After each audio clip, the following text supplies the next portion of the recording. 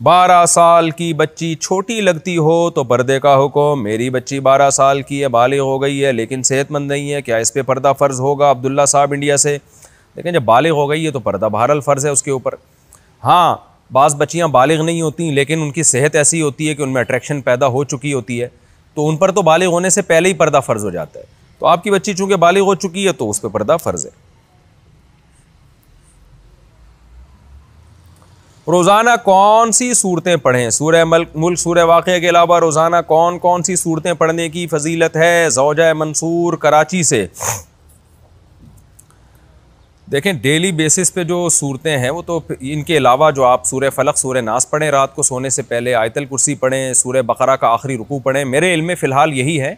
अगर कोई और हदीस मेरी नज़र से गुजरी तो मैं इन आपको बता दूँगा। फ़िलहाल मेरे जहन में यही है कि आयतल कुर्सी रोज़ाना पढ़ने की तरगीब है सूर्य फलक सूर्य नाथ रोज़ाना पढ़ने की तरगीब है। रात को सोने से पहले सूर्य बकरा का आखिरी रुकू पढ़ने की तरगीब है। ये सूरतें हैं जो डेली बेसिस पे पढ़ने की हदीस में तरगीब आई है। रात को कंघी करना कैसा है? रात को कंघी करना कैसा है? मुद्दसर रहीम, अगर बाल ख़राब हैं तो रात को कंघी करें, कोई ममानत नहीं है। दिन में भी कंघी कर सकते हैं, रात में भी कंघी कर सकते हैं। कंघी के लिए कोई ख़ास टाइम शरीयत ने नहीं रखा। हैज़ और इश्तहा